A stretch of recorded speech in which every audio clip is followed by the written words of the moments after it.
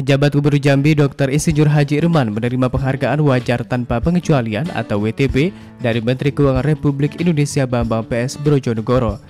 Penghargaan ini sesuai dengan predikat opini WTP dari Badan Pemeriksa Keuangan Republik Indonesia terhadap laporan pengelolaan keuangan dan aset pemerintah Provinsi Jambi tahun anggaran Presiden menyampaikan apresiasi kepada kementerian negara atau lembaga dan kepada pemerintah daerah yang telah mencapai opini WTP, serta agar yang belum mencapai opini WTP untuk terus melakukan perbaikan-perbaikan di antaranya, meningkatkan sinergi antar unit internal, meningkatkan pemahaman dan kapasitas sumber daya manusia, menindaklanjuti temuan Badan Pemeriksa Keuangan, dan meningkatkan komitmen pada setiap jenjang organisasi, terutama meningkatkan komitmen pimpinan.